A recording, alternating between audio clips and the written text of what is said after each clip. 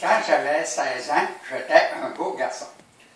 Je suis le coq du village, tout le monde m'a donné ce nom, parce que je suis bien sage et que je suis un gentil garçon.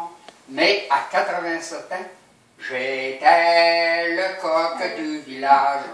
Tout le monde m'a donné ce nom parce que j'étais bien sage et que j'étais un gentil garçon. Salut la compagnie, salut Nicolas. Salut tout le monde.